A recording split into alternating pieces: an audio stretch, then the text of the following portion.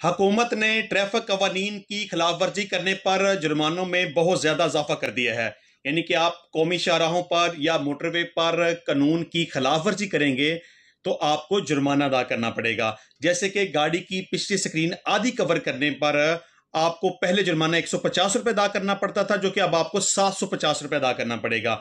इसी तरह अगर आप गाड़ी की पिछली स्क्रीन को मुकम्मल तौर पर कवर कर लेते हैं तो पहले जुर्माना तीन सौ रुपए था, जो कि आप बढ़ाकर सात सौ पचास रुपए कर दिया गया है।